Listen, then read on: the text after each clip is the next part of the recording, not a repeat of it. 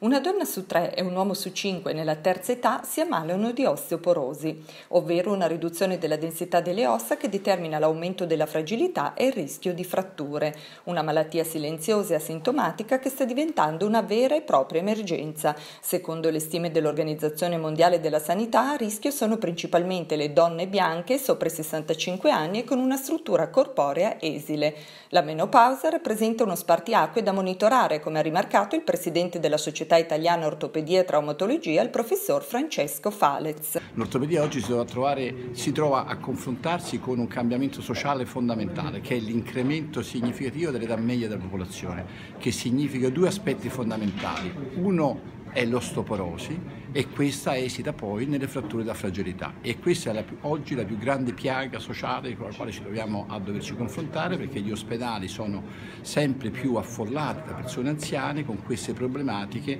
e ovviamente poi tutte le problematiche correlate con la persona di questa età. Accanto a questo c'è sicuramente anche l'incremento eh, delle attività svolte dalle persone in età adulta, quindi significa attività sportive, relazioni e quant'altro, che aumentano significativamente tutti che sono i traumi proprio legati a queste attività. Quindi è, è un cambiamento epocale per l'ortopedia che si trova ad affrontare sempre più spesso richieste numerosissime sia in età adulta sia in età avanzata. Ecco, vogliamo dare qualche consiglio per cercare di preservare al meglio quelle che sono le situazioni delle ossa?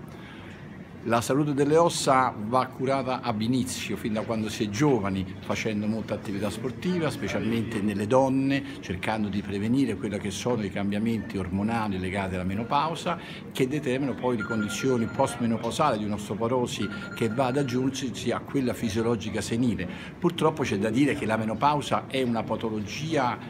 inevitabile, non possiamo evitarla e, quindi come tale dobbiamo soltanto cercare di migliorare quelli che sono i, i percorsi terapeutici, i percorsi assistenziali. Quello che possiamo fare come consiglio sicuramente cercare di prevenire suo, la sua occorrenza con una corretta alimentazione, una giusta eh, attività fisica, ma fondamentalmente affidandosi anche a quelli che sono i pareri e indicazioni dei medici e dell'ortopedico che si occupa di questa cosa proprio per evitare un peggioramento.